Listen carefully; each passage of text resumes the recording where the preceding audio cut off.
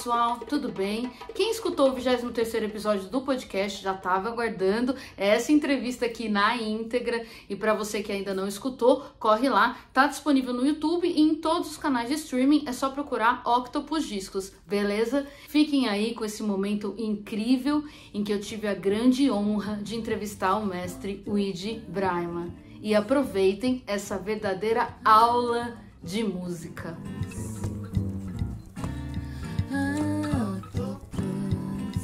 First of all, thank you very much for being here. Uh, no I'm problem. so honored.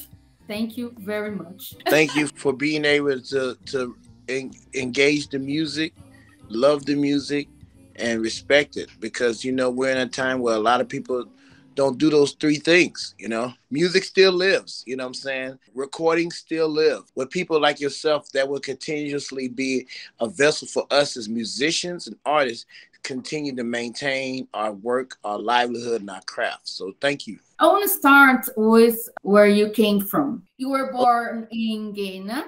I was born and... in Ghana, raised in East St. Louis, Illinois.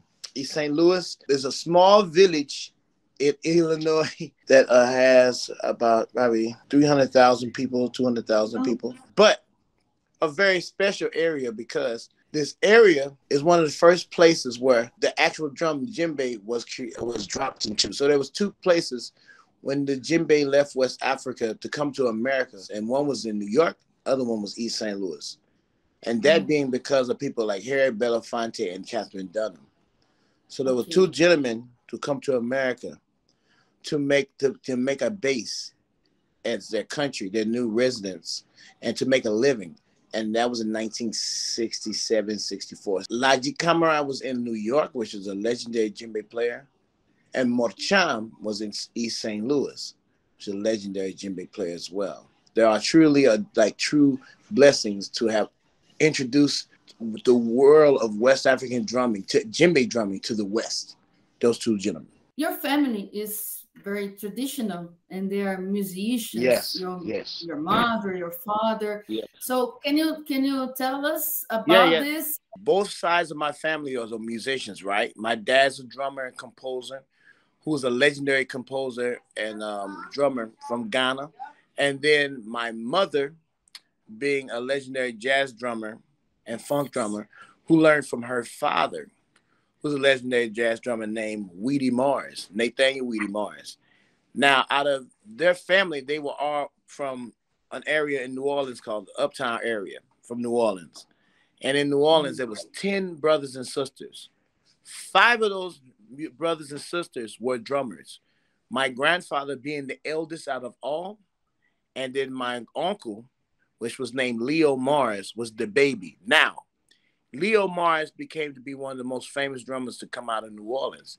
His name is Idris Muhammad. You know, I'm really here because of the drum, which I can honestly say that I'm a walking vessel of it because both parents, both families, both entities are very, very exceptional drummers. Matter of fact, for me, I call it a blessing to be a, uh, to live a life where I have parallel lives of music. I was reading uh, about the djembe Mm-hmm. And I'm very curious because people say that this instrument has three spirits. So can you explain to us? We're not just going to talk about djembe. Let's just talk about drums plural before we get to the instrument. Okay. Djembe has a nature, or drums has a nature to bring forth energy. No matter where you go in the diaspora, where you're in Brazil, you're in Africa, you're in Ghana, you're in anywhere where the diaspora is, from Africa to America and every other places in between. You're gonna find a way when you're talking about drums that are that are truly direct descendants for me. I can't speak for anything else, but are direct descendants from Africa going through the the Caribbean, going through the, the Americas, going, you know, going to New mm-hmm. Orleans. You will find that those drums has a way to bring energy down. And if you just look at the, the cause of how energy is created, look at the periodic table. It's the yes. same thing that we use for the periodic table that we use for drums. So if you use that same methodology you'll understand the same science behind why spirit is in drums. Now, the djembe is very unique because of the spiritual possession that they have before colonialization. We're talking before Islam, that these instruments was held for spiritual belief. That they had certain powers in it, which if you ask the old, old djembe folas, they know how to possess that. That they understand how to make the shifts, the elements, the change emotions to make things better, to make certain ideas come to pattern. Because if you ask a lot of djembe folas about uh, djembe players about those type of things, they'll even say there that's something that's not dealing with djembe. Because we're now most people are coming from a theatrical way of playing. They're not, you know what I'm saying? I mean, if you go to areas like in Mali, you see a very traditional way how you start playing for the Jina 40 people, music, you start playing for different ceremonies, the Farabanka, the different rhythms that are played that are able to bring something out of that, that can tell the story of the people and of the instrument of spirituality. But a lot of people don't understand that because of the way the instrument shifted throughout colonialism, throughout times changing, mm-hmm. the evolution. And so the instrument, the tradition is still there throughout West Africa, but sometimes because of colonialism, things have changed. But what's really unique, they definitely find a way to keep it's almost like how you can see in Santeria and some areas in Candomblé how they bring both sides together. Yes. It's the same way. Exactly. It's the same way. But the instrument itself has its own truth and its own voice. When I first listened to your uh, debut album, Hands of Time, I said, I hope it was good. I was suddenly taken to another place, like another atmosphere. It's, it's such a spiritual and, and powerful. In some parts, you are in a place that is so traditional, talking to the ancestors through the music. So it's something that goes yes. inside you in such a powerful way, and you know how to talk with the modern music too. Amazing. It, it wasn't easy, and, and the reason why what it wasn't easy and what made it easy number one, as a djembe fola, as a djembe player in, in the West, in America, to be a djembe drummer, if you're not in a djembe situation dealing with folkloric African dance and drumming or anything dealing with African music, then your job, you're the first one fired and the last one hired because of the respect level that the instrument has. I've been blessed to be able to play and work with a lot of musicians and bands, legendary and amazing musicians, as a djembe player. Right. I mean, you know, with my brother Zion, uh, formerly known as Christian Scott aTunde Adjuah, um, Trombone Shorty, um, Mike League of Snarky Puppy, um, Ghost Note, all these amazing musicians. Yes. And I was able to find a way not just to be a percussionist, but okay. a djembefola. I was able to put together an ensemble of people who understands both narratives, who can speak both languages in traditional African music of some type and in Western music. So it's not easy to find a musician who can understand how to play Malinke music and how to play yeah. jazz. You know, there's songs on the album where we were able to blend the worlds. It wasn't easy to find musicians who were able to play yes. all these uh, uh, like you know all these different sounds, whether it's from Brazil, from Cuba, from West Africa, and then say now let's play some funk, and then find a way to blend these worlds, to just blend them naturally, not blend them like no, no, no. Simultaneously at the same time, find a way to make the marriage work. This is pretty difficult. It's very difficult. It's very difficult because what happens here is that if you tell a drummer from the states to play maracatu rhythms, or if you tell a drummer from the states to play um, a certain rhythm that deals with with samba, and then they'll say, okay, now within that, right. now, play on top of clave from Cuba check it, check it, check it, check it, check it, check it, check it, check it, check it, check it, check it, check Sunu for Mali. Check it, check it, check it, check it, check it, check it, check it, check it, Now, how do you make that marriage fit from creating all those realities that I just said into a song? Yes, I, I was amazed when I first listened. I was, oh my God, how does he do this? That is because of my band. I would be nothing without my band. Hands of Time. The Hands of Time. Everyone in that band are people who went through the same struggles that I went through. They wanted to play folkloric African music, but they had to find a way to make a living when playing with funk band, jazz band, or fusion yes. band. Yeah. So they was like, man, one day, why don't we create? Uh, you know, one day it will be able to be cool to see us create our own narrative. I was able to find musicians who I had a very close relationship throughout the years. I mean, about from 15 to 20 years of friendship and playing music together. Munir Saki, Luke Quaranta, Shakin Doy, Shay Pierre, Sam Dickey, Raja Cassis, Courtney Smith were musicians that if you was to ask them to create who they were musically, you, this would, would be it. So when I put the band together, it was really it was very interesting to see what people wanted to see what my sound was because they know they've seen me in different spaces with different bands.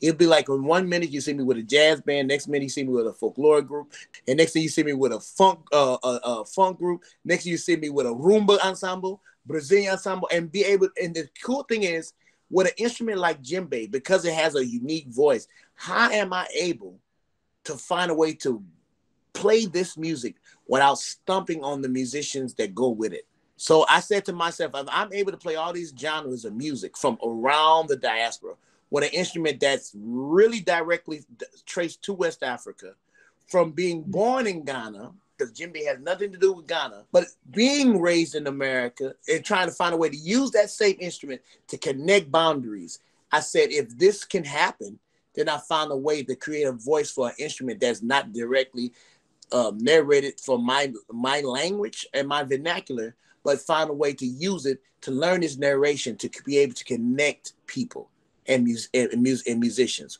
with different forms of musicality. Hence, that's why the band is called The Hands of Time. You came to Brazil in the past. I right? came to Brazil twice. Twice. And how was your experience here? I have a huge fan base in Brazil for, for hand drummers, from a lot of chimbal players. Hand drumming in Brazil is probably some of the most amazing, amazingest things I have ever seen live. And it was a trip because I did. I first went there on vacation with me and my wife. We first went there on vacation, and I never forget because she got mad at me because I wanted to play more than vacation. but I'm like, you know, I was like, okay.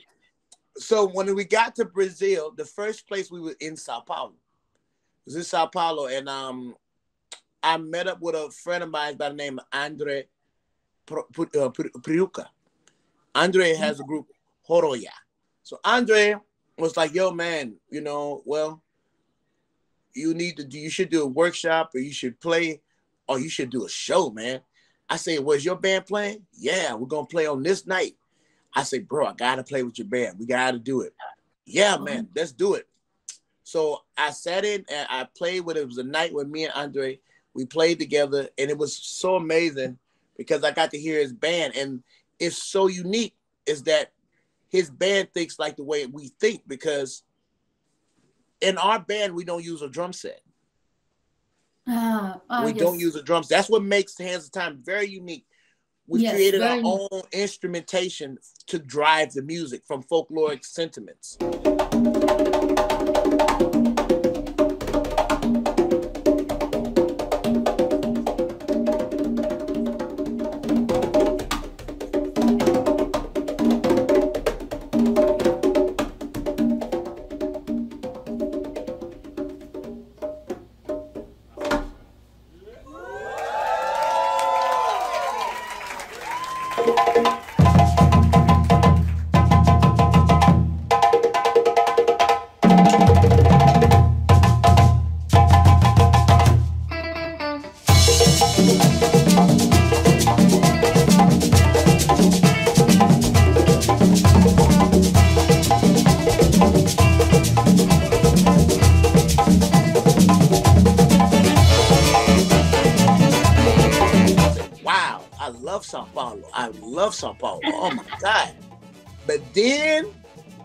To Bahia. Oh my God. and that's when I said, Lord have mercy. I went to do uh, a workshop. And this is when I realized I didn't know how deep it was for me in Brazil. About about 20 drummers from different areas like, Oi, Weedie. They couldn't believe I was there. And I was like, hey. And they was it was they was like, you here? I was like, yeah. One guy just he couldn't believe it. Just people could not believe I was there. But then I realized that the chimbal technique is just like djembe playing. And so, you know, for all those guys, like, yo, this is we want you here. I said, well, I'm doing a workshop. Huh? So I did a workshop one day. And then the next day I did a workshop. It was over like 25 people. We didn't even have a place, so we went outside. I never forget we was in the, like the hills. And I did this workshop in the hills. It was it was touching. And I, I, I, I was like, wow. So they ever say, man, you must come back. You must come back. The second time I came back was with Christian Scott aTunde Adjuah for the MasterCard Jazz Festival. The next time I will come back, God willing, will be with my band. And I pray for that. I pray for that too. yeah, go to Sao Paulo, go to Rio, go to Bahia, yes. go to Recife. You know what I'm saying? And um, yeah, I mean, this music for me, I think will be great in a in a in a country like that because it it's one of those countries that really represents the continuum of how the diaspora really was able to yes. create new voices within a, a, a, its own its own narrative that was created out of something. You know what I'm saying? And I, I'm a, I'm a huge fan of this one mm. guy, Carlinhos Brown. I have to meet him because I'm a fan of his work, and I love what he's done. You know, uh, Brazil has a definitely a special place in my heart, and God willing, like I said, I want for us to, to come back there. Are you working on a new album? Yes, the first album really we were very happy how how good and how the people the response from the first album. It came out September 24th and 21 and it's amazing, still rotating strong.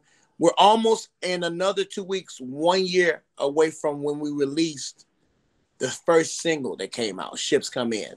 Yes. Yes. It came, it was released June 17th, I think June 17th. So it's it's going to be like a very special day when for me because it's the one year anniversary for when the first single came out. A lot of people when we did it wasn't expecting that song to be my first single. The band even know. Mm-hmm. They the band didn't even know that was gonna be. They thought Weedie Foli would be my first single. Yes, that's wonderful. This yeah. is a good example of uh, what I said before. This uh, atmosphere that you you are taking to and talking to the new talking to the old mm-hmm. in a magical connection. This mm-hmm. this this song's amazing. Yeah, it's it's very it was interesting because when we first did it, I remember like it was yesterday. We were in LA. It's another song we recorded that weekend. It's a song called Hippos in Space.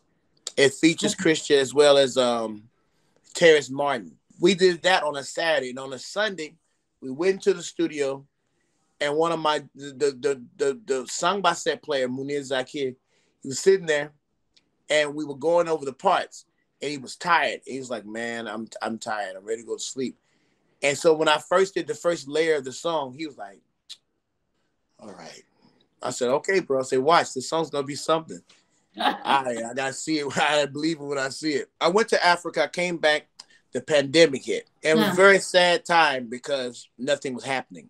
Yes. But during the pandemic is when I did my album. For musicians, I think this was a very difficult moment, at the same time, a chance to evolve. Absolutely. I did so much work during the pandemic that I didn't even think the pandemic had even stopped. Yes. I wasn't touring, but where I was doing for the instrument made me realize that sometimes it's more than just working, it's creating. Because the day will come where it's going to come back. Yes. It's going to come back. And that's where we at now. So, was it a bad idea for me to do an album during the pandemic? It could have been, or I could have waited. Had I waited, the, the, the triumph of the album would not have been what it was. because I was going through something no different than every person in the world was going through something. So I had to yes. find a way to channel my story, whether it's from my past, my present, and my future at the moment. Because a lot of my friends told me, you got to stop to do this album, bro. If you don't, mm. it's not going to be. All my close friends said, you if you're going to do an album, you got to stop, bro. Because I was touring constantly, constantly, constantly, constantly, whether with my band or with other projects. I just couldn't stay still. But the pandemic made everybody stop. Yes. Now, it made musicians come together who didn't normally come together. It became a first place where people who had hearts who wouldn't have done the album, they'd be like, you know what, I want to be there for you. So all of those things happen emotionally and spiritually, and it connected people together. I mean, Trombone Shorty, I'll never forget it. When we did back to uh, back to forward, uh, Ode to Bantuku, we were in his studio, and he was like, he just called me. He said, "You ready?" I say, "Huh?"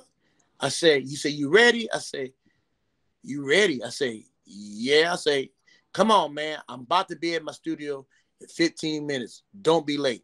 I said, okay. okay. so I go to the studio. He playing. Boom, boom, He said, now throw the track on, man. I said, okay. And Charlie is uh, his uh, his engineer. He puts the track on. And the first song that I let him listen was "Send for Me," which had Pedrito Martinez and Tank from the band Tank and the Bang Bangers, Tarriona Tank Ball. Yes, they are wonderful. Yes. Yeah, it's a beautiful song. He's listened to the song. He said, "Well, man, you pretty much this song done, bro. Only thing you got to do is just mix it." Then I was just playing this song. He says, "Play that again." I said, "Well, this song ain't done, man. I still am working on it." He says, "Play it again." And he's sitting in the chair, and I laughed to myself. I said, "If he plays on this song, that will change the song." And I tell you, my sister, he listened to it twice The third time he started playing along with it. He soloed on trumpet and then start adding stuff. I said, oh my God. Then I said, hey man, can you go to the top and play the beginning? He said, sure I can. He goes to start playing the phrases with the piano players. So now he's not only just playing a solo, he's crafting out where he's trying to make the music come out of what I did already. Sometimes with music, your song can be done just got to know how to have the right instrument to know how to craft it to come to life. And that young man did that. So, you know, Trombone Shorty is one of my close, close, close friends, close friends, just like Christian Scott, like my brothers. And I can honestly say they were able to do things with my songs to give it the emotional content that it was this, this the, the little emotional content that it was there. Spiritually was there, but emotionally, we still needed something else from another narrative to bring that out. And that's exactly what those musicians did. Everybody that was on that album was able to do that. I mean, from Mumu Fresh to Tarriona Tank Ball to Pedrito to Osain Del Monte, Monte to Alain Perez to Trombone Shorty to Corey Henry to Terrace Martin to Pedrito. I mean, all these people were able to bring that spiritual emotion that I needed for each part to come alive. And this is so intense. This album, uh, for me, it's like a planet. This album has his own language and it's very specific. It's like a world itself. Yeah, it know? is Absolutely. It's- People ask me, well, how you gonna bring that to stage? I said my hardest thing was how I'm gonna bring that to the to the album because it's more intense live. Because I grew up around traditional African spiritualism, the way we play music for ceremony and where we play music for belief systems and for traditional ways is more intense than if you listen to it on an album. So the oh, fact that I was able to make people go somewhere and feel something from an album is the idea of what I wanted. Now, when I see the people live, it's over with for them because I know how to play for to make make it happen for them. Yes. And it I know how to do that. And the musicians around me do too.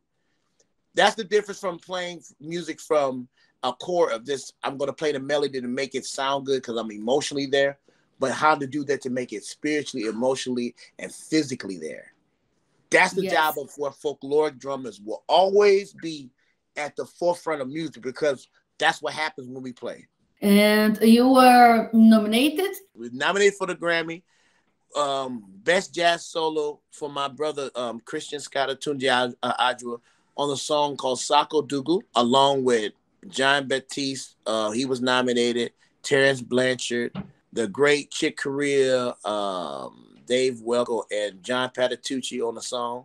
So I mean, to be in a lineup with those guys for best jazz soloist, it's it's pretty it's pretty amazing. The Grammy was great, but when Time Magazine said we were oh yes ten albums in 2021, yes.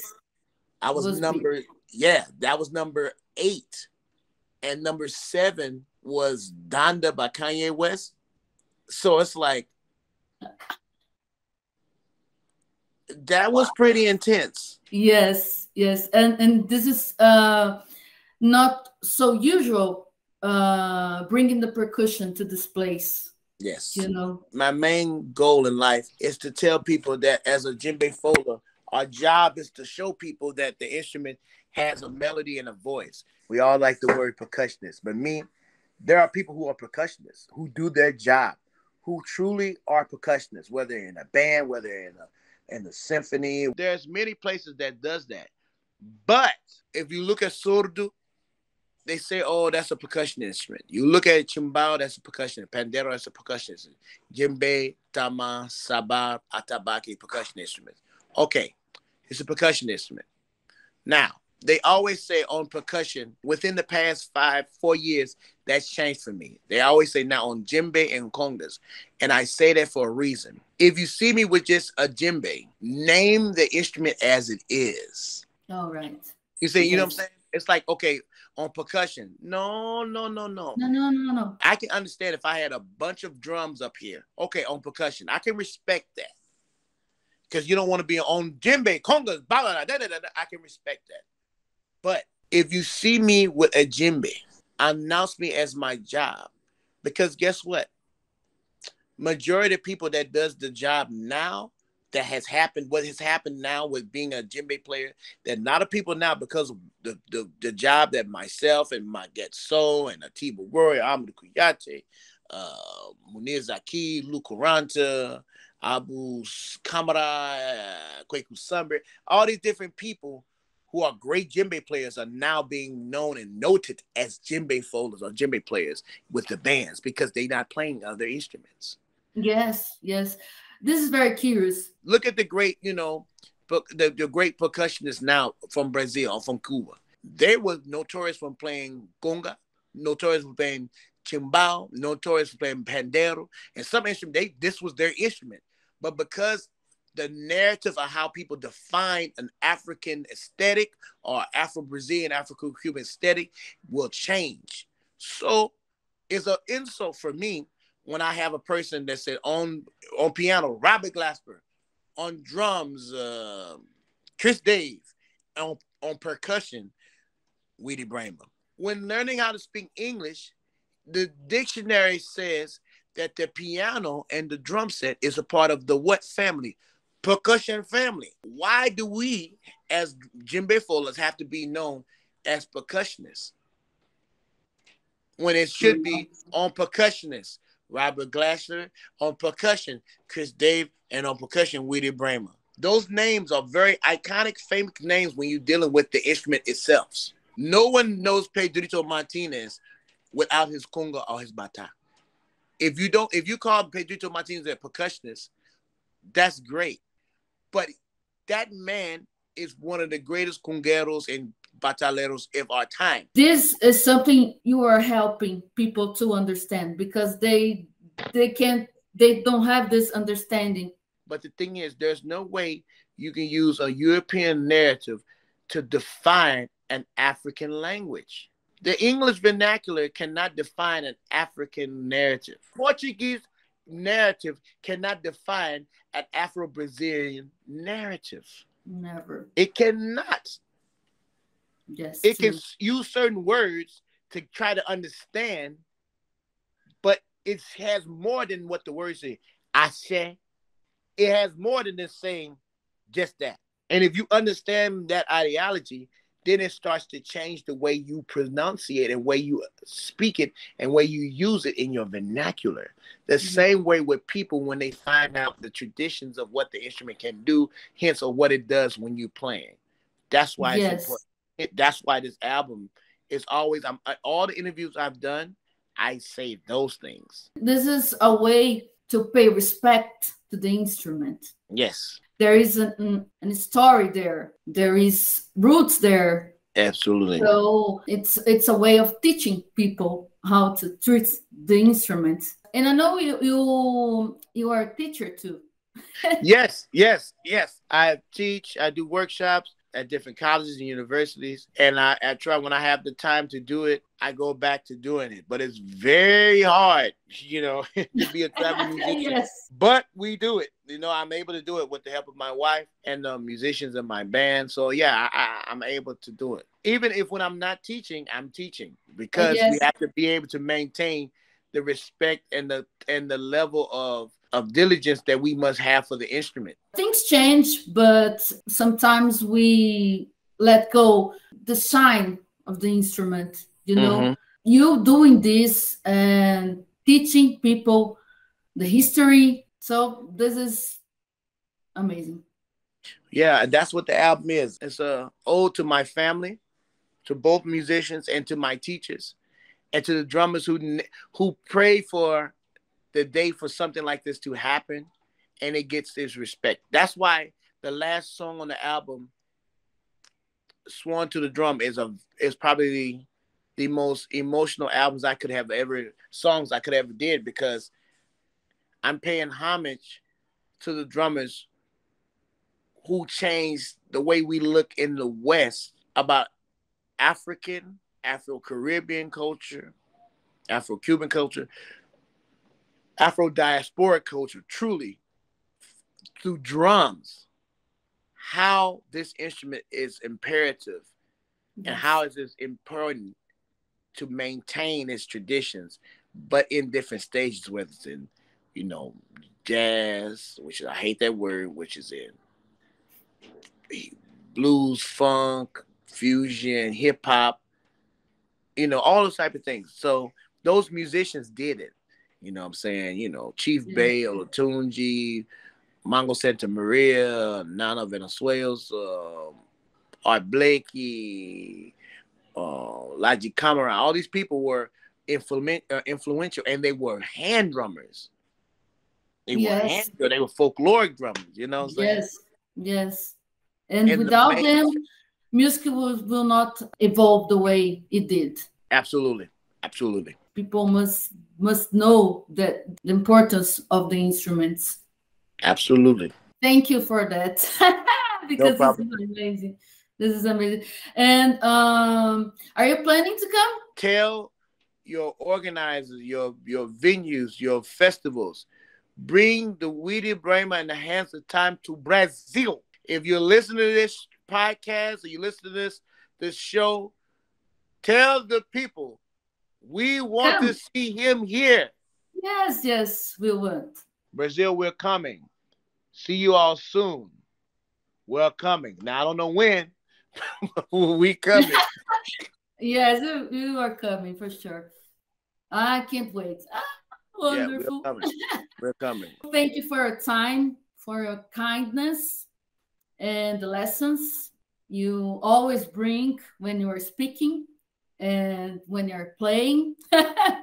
God bless you, your family. See you soon in Brazil. See you soon. God bless you. I wish you all the best. Thank you so much. Obrigado. Obrigado. ciao, ciao.